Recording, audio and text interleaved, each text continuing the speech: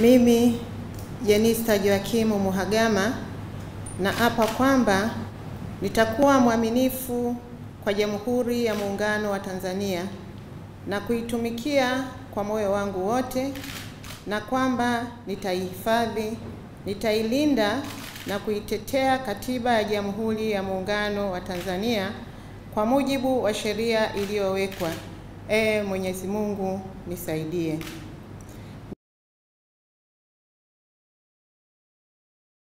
Mimi George Boniface Mbachawene mwata wa Mwatagulwala naapa kwamba nitaitumikia vyema na kwa moyo thabiti Jamhuri ya Muungano wa Tanzania katika kazi zangu za waziri wa nchi, ofisi ya Rais, management ya utumishi wa umma na utawala bora, na kwa wakati wote nitamshauri kwa hekima na uaminifu Rais wa Jamhuri ya Muungano wa Tanzania, na kwa vyovyote vile sitatoa siri za baraza la mawaziri.